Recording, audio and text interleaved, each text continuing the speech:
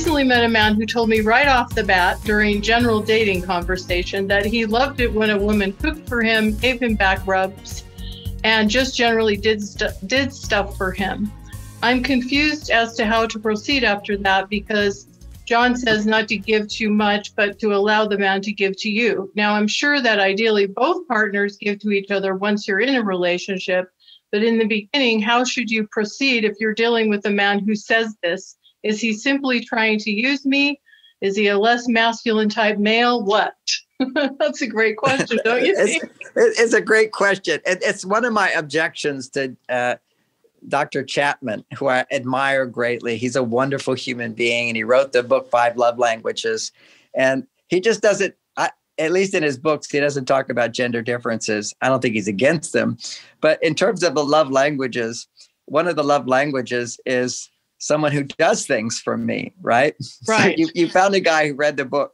He read the book Love Languages. So I want you to know I'm into the love language, do things for me if a man ever says that to you, what you should say as a woman, that's great. I am too. I like it as well. That's the answer for it. Okay. There's nothing wrong with doing things for a guy as long as he's doing a little more for you. I love it. I love it. and, and, that that's the problem with that book. And you know, the book is like kind of same thing as Men Are From Mars. It's the revelation that people are different and we need to find out what they need most. Now, you add to that gender, a lot of people think what they need most. Actually, a man who thinks he needs and this neck rubs and a woman who cooks for him, you know, this is, uh, it, it, there's nothing wrong with that. But he says, that's my need. And what's your need? And she says, well, I need it all. I need affection, gifts of love, reassurance. you know, there's all of those things. Women need it all. And if they don't, that's a problem for them and men need it all but to not as to not as great extent what men need is to feel successful in in what they do in providing that for her. That's the real need. But he's in touch with his female side. He likes neck rubs. He likes somebody to cook for him. And hey that's not a problem if she likes to cook. And maybe she likes to give neck rubs. That's not a problem. But it's a it's a tricky thing when when men think okay what i need is is action to serve me because that's basically what all female side needs the most is action to serve me. Think about the whole history of mankind. The cooking thing, however, is a little different in that if you love to cook, that's not a problem. If you have, if you're home and you're raising children, you'd be cooking anyway. So why not cook for him? But when you don't have children around, that you you naturally feel uh, an instinct when you're a mother and you have time and resources. You want to nourish them your breastfeeds them. Cooking is actually a very nourishing thing, unless you've got issues with it. Uh, it, it, it can be very, very relaxing for women to do cooking because uh, nourishing others is very feminine. So it helps her produce female hormones through cooking. That can be, unless she doesn't want to, then it's not going to produce female hormones. But uh, when, when I married Bonnie, I said, actually, I never said I, I want you to cook for me. She just said she was happy to cook for me. And I told her that anytime she wants me to cook for her, I will do that. I'll take you out to the restaurant I'll go and get takeout because I told her there's no requirement. You don't have to cook. But I have to say, I, I part of my preference in picking Bonnie was that she loved to cook and she was a good cook. And that was wonderful. Her her complaint to me is that I didn't care that much about food because I'd been a monk. I, I, even now I only eat one meal a day. Uh, I'm, I'm sort of transcendent when it comes to needing food, unless my girlfriend's not here, unless my wife's not here because she passed on.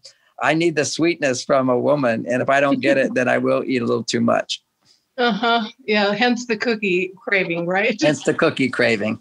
Cookies right. produce sweetness produces estrogen, and uh, but it's also anything that makes you feel dependent. It produces estrogen. And uh, when women are too far on their male side and they don't have relationship skills to produce their estrogen, then they often have addiction to food.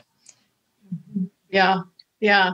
So the key here, again, just to kind of like put the exclamation point on what you said, is it's not that it's inappropriate for a woman to give in a relationship and a healthy relationship has giving on both sides but there needs to be that reciprocity And if I'm hearing you right, in the beginning stages, early stages of a relationship, the man doing a little more. Definitely. And you're never going to have exact. So err on the err on the side women of giving less and receiving more should always be that's the direction you lean in so we all want to be giving here's the dynamic this is male female actually giving to get giving to get is masculine giving in response to receiving is feminine. Ooh, okay that's, so this, a, that's a gem right there. It's a gem right there. You know men provide to get love. That's it. We do that to get we all need love and we need money so i go to work to get money. A woman goes to work to get money she's producing testosterone. Nothing wrong with it. I'm giving to get. You know i do counseling because people pay me. I don't do counseling if people don't pay me. You know that's my job.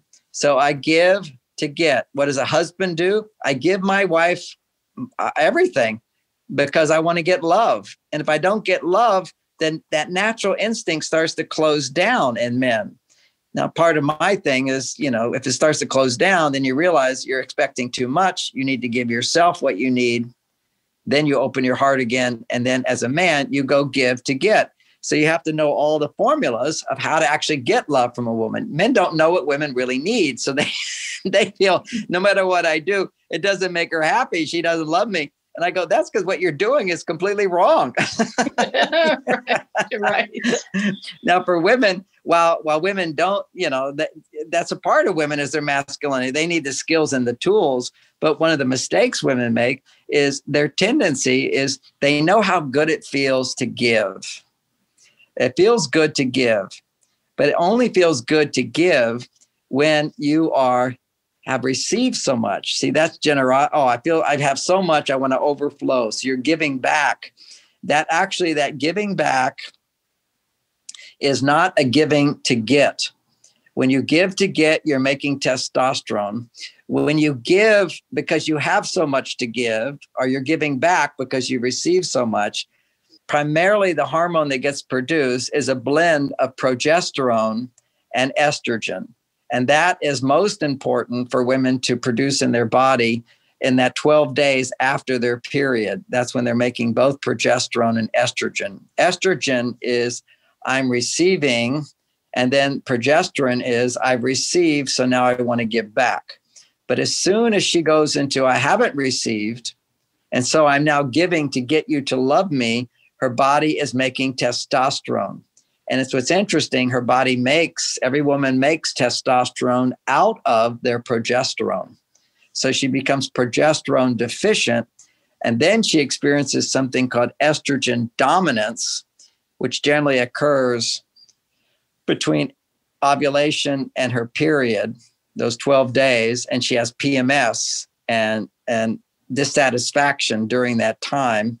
That's usually often she can feel very needy because she thinks I need more estrogen at a time when her body wants to receive and give more.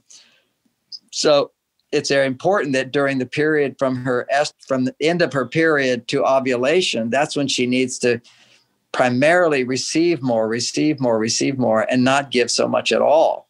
Just appreciate, ask for help, do things for herself, enjoy her life, not so much feel pressure to give to anybody. Then after ovulation is where she will feel, oh, I've received so much. Now I want to give. And so giving from receiving is going to produce both estrogen and progesterone, which is a blend that needs to dominate, needs to dominate. Still, she can, you know, do that on the way up towards ovulation. But the primary thing for romance, for example, is doubling her estrogen, which is having a man do a lot of stuff for her, which is why you mentioned in the dating, primarily the man is doing stuff for her once she's receiving so much, she can start giving back. But that's that's her control to keep her to keep her from feeling resentful because resentment will be automatic. Just like if I punch somebody, they'll bruise. If you give more than you receive, you'll start bruising, and it takes time to heal a bruise. And you, the first step is you have to stop bruising yourself.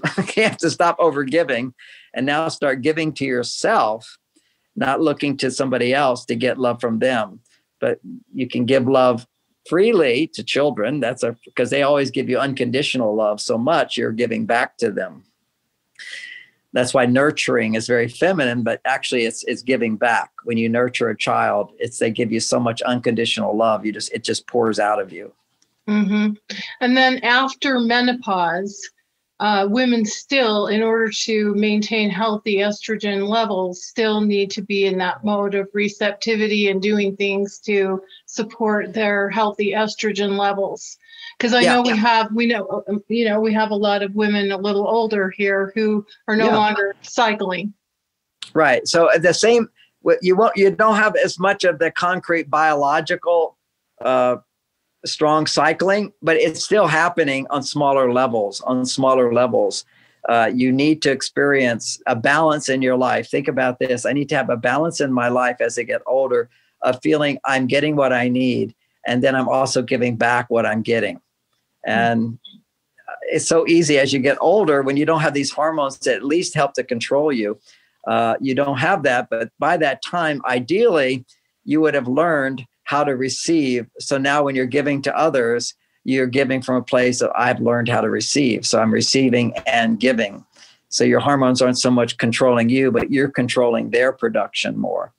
Naturally, your hormones will control you at a younger age if you're in harmony with them. But right now, unfortunately, our uh, our culture is just telling women, you know, you're inadequate if you're not achieving and accomplishing, and what's wrong with you, and if you're feminine, you're weak and needy and you shouldn't depend on anybody for anything. You can do it yourself. Otherwise, you're not lovable. That's the message the culture's saying. It's telling all men that you're not good enough. You know, Bill Gates has got all the money and what happened to you? You know, he was just a kid.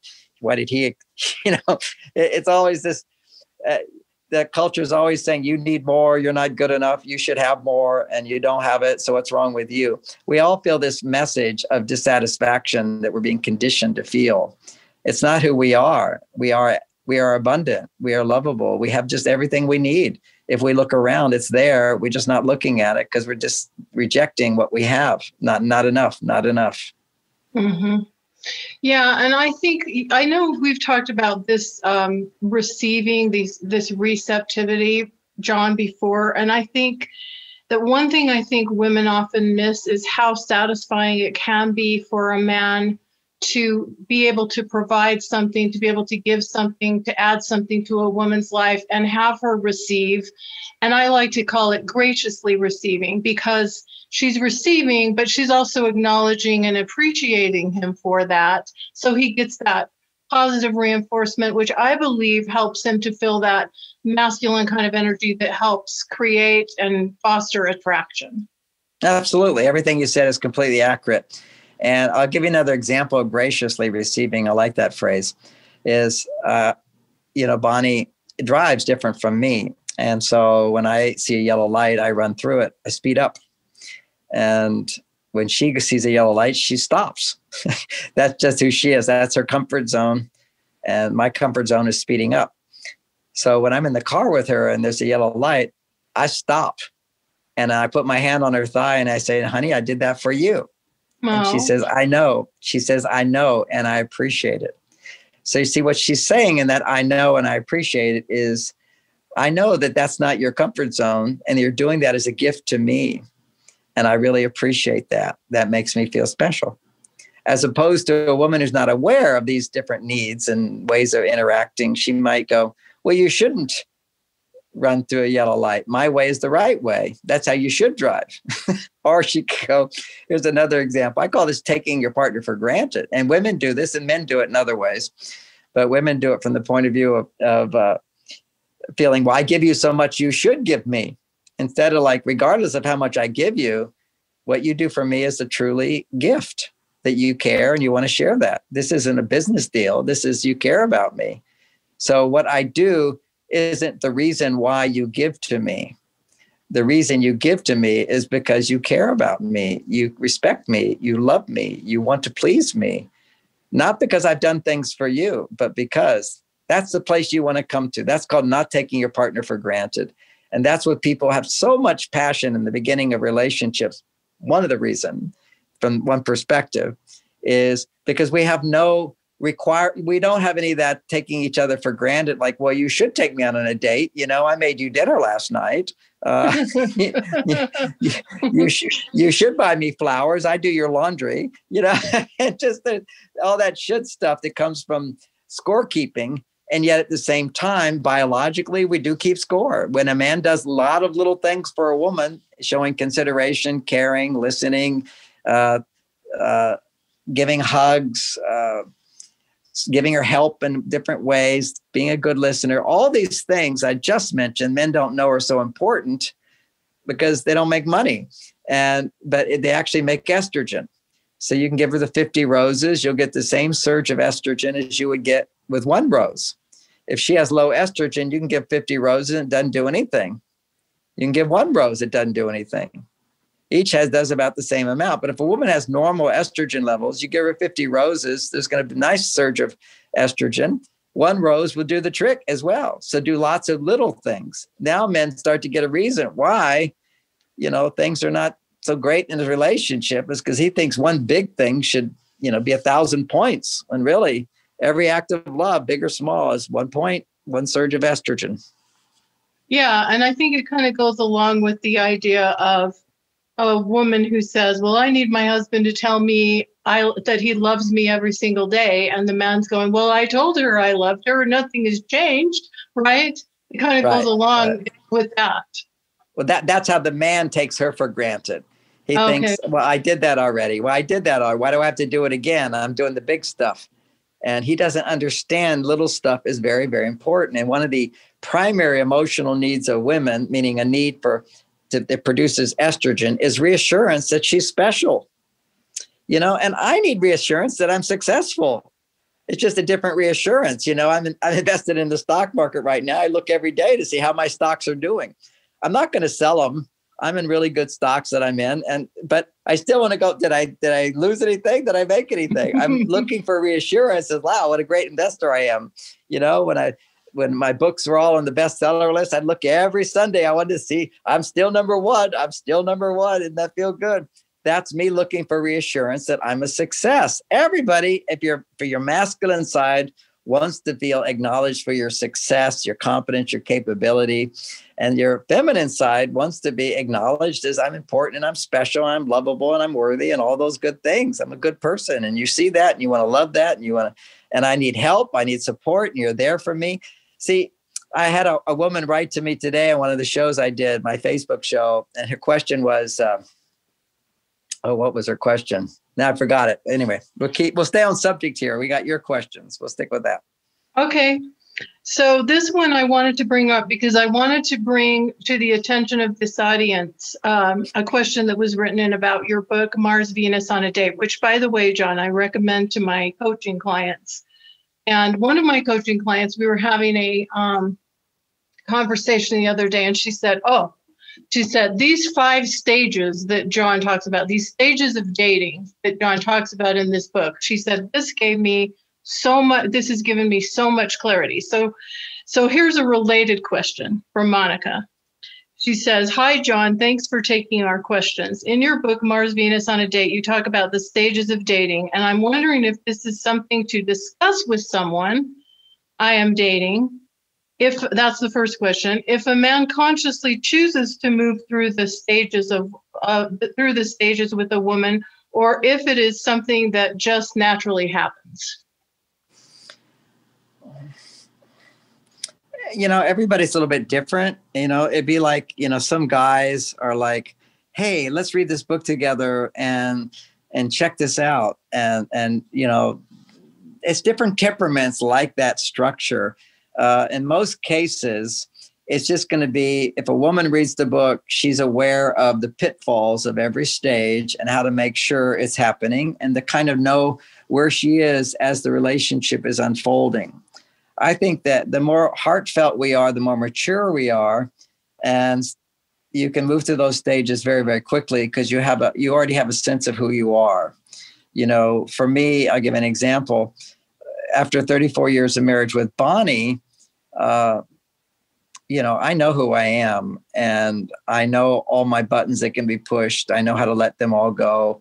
So for me to start a new relationship, you know, I gave myself a year to grieve and I said, okay, now I'll start a relationship. And boom, I found the person. And I don't, I don't have all those doubts and questions because I know who I am. I know what I want. I know just what I want. And I found it right away. I mean, it's just like my friends say, How are you doing? I said, Oh, I'm having a great life. And how do you find that? Yes, well, I'm a relationship expert. You know, I should.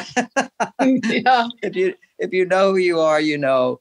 Uh, and and you you see what happens when our buttons get pushed, we get upset and then we become judgmental or critical or doubtful of others when you know who you are, you find the right person right away because they will mirror who you are and you love who you are. So you will love them.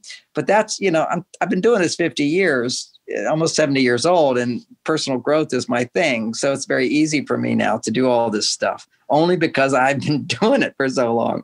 So having said that, having said that, uh, what is my what is the, the question here? Remind me of the question. The question is are the stages of dating is it something to discuss? Oh, is it something natural? Okay, love at first sight, for example. You know, you might be right when you have love at first sight, and and that can happen. That's just feeling strong attraction, or it's a real soul knowing. Uh, it's not that common, but it can happen. Uh, you know, my kids, Bonnie. I think in our last year we were talking a lot about our relationship to the kids, and and one of my daughters said to Bonnie, "Did you know that Dad was the one when you first right away. And Bonnie said, the first time I saw him, I know he was the one. Really? And and then they said to me, Dad, did you feel that? I said, I said, she's the one I want to have sex with tonight.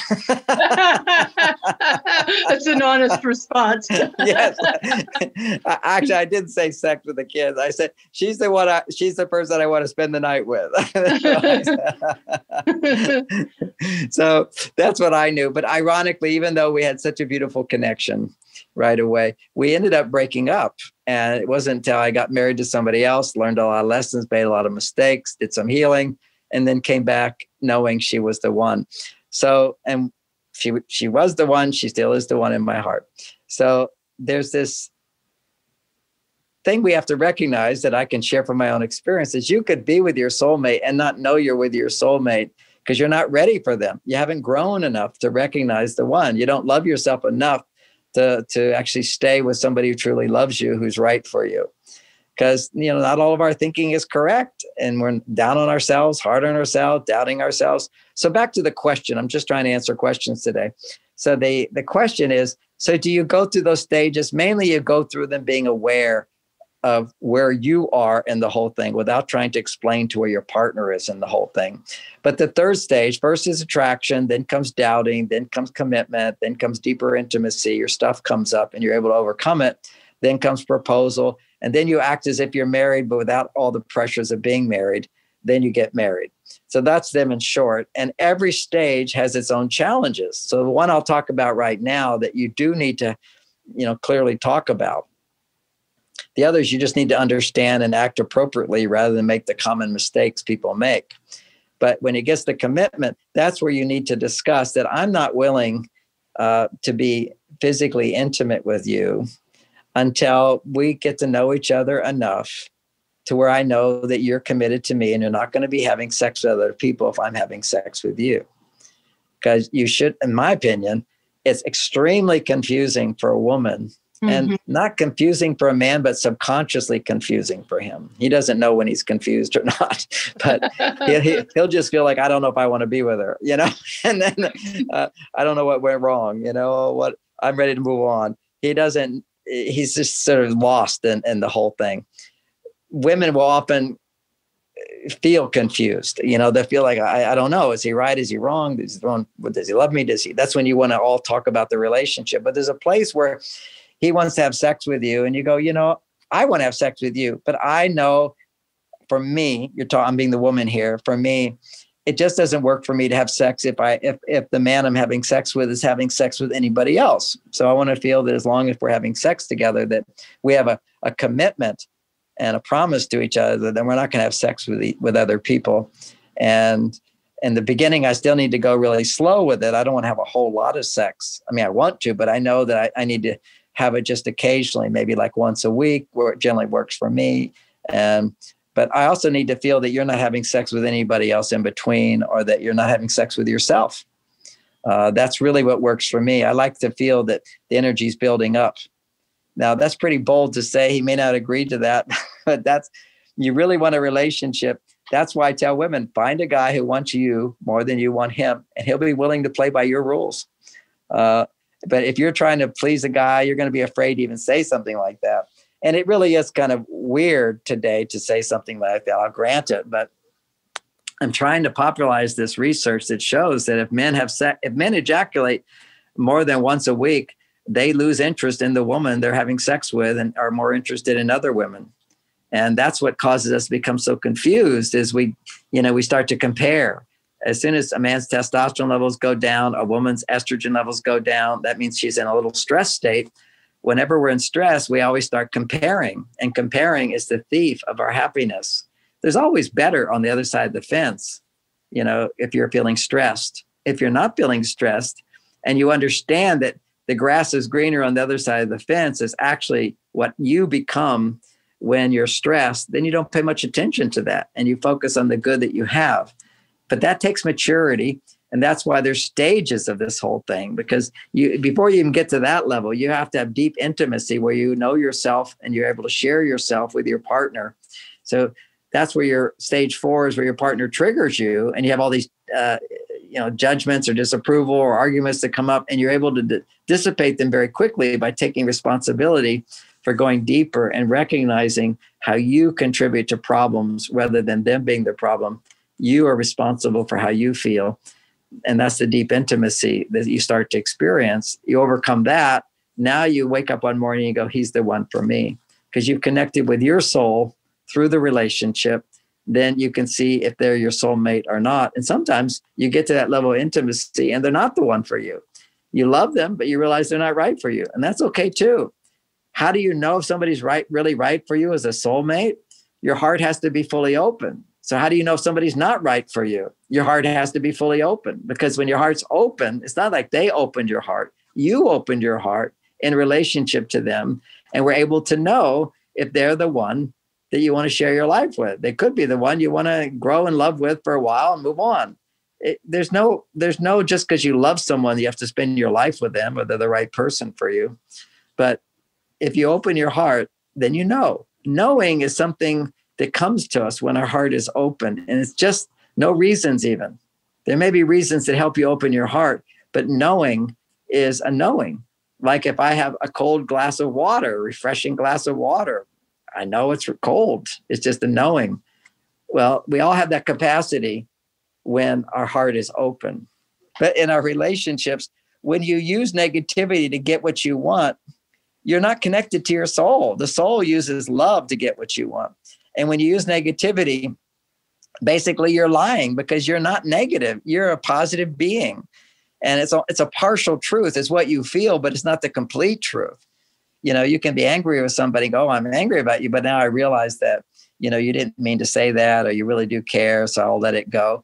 So I care about you. So now you you've you've gotten to the complete truth, which is yes, I was angry, but now it's an incomplete belief or feeling. It needs to get back to love. And then it's forgiveness. And that's the that's the total truth we want to learn how to get to the real truth of life. And that's by getting to the truth of who we are, which is we're loving human beings. But we do interdepend on each other. We're dependent. We need love. We need support. We need to be loving. Otherwise, we're not being our true self. Mm-hmm. Yeah, that was beautifully said. And, you know, coming back just for a second to the five stages in your book, which, by the way, everyone, I really highly recommend.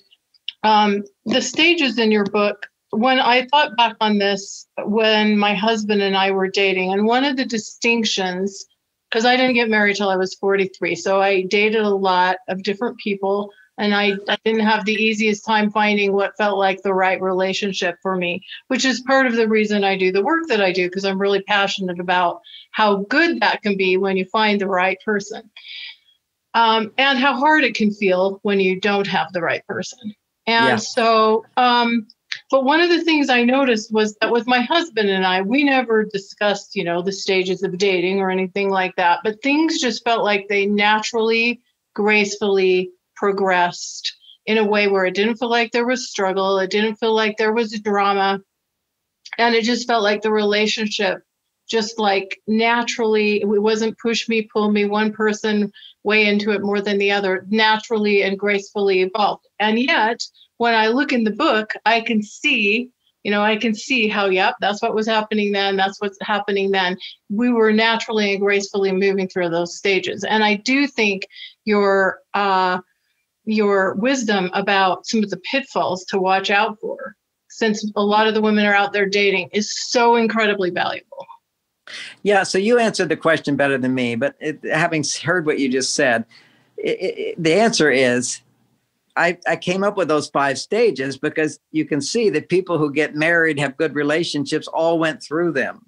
And I can see at the it's a natural unfoldment of the stages of a plant developing, for example. It goes through stages. And it's not like you're saying, okay, now we're gonna we're going to force this stage and we're going to force this stage. It's a natural unfoldment of typically what happens when people bond and the bonding grows.